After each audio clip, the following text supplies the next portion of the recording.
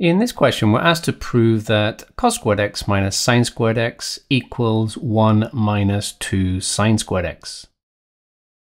Now, looking at this, uh, the first thing that comes to mind is, well, which rules can I apply here? Which rules are going to be useful? And the first one I'm thinking of is that sine squared x plus cos squared x is equal to 1. Okay, now I'm going to start with either the left-hand side or the right-hand side.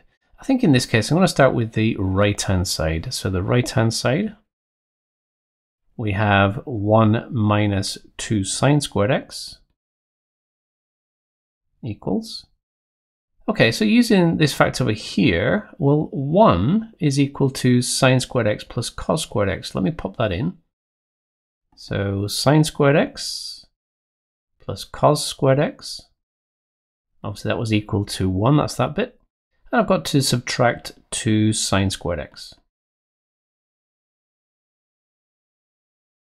Okay, now sine squared x minus 2 sine squared x, well that's going to give me a minus sine squared x. So what I'm going to be left with is cos squared x minus sine squared x. And that is indeed equal to the left hand side. So a nice easy one.